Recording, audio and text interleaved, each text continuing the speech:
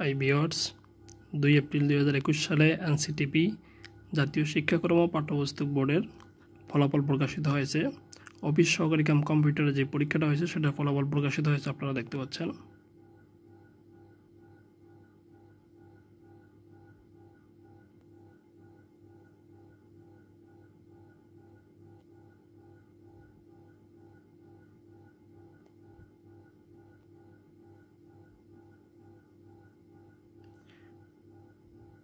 এটা মৌখিক মৌখিক পরীক্ষার সময়সূচি পরবর্তীতে দেওয়া হবে।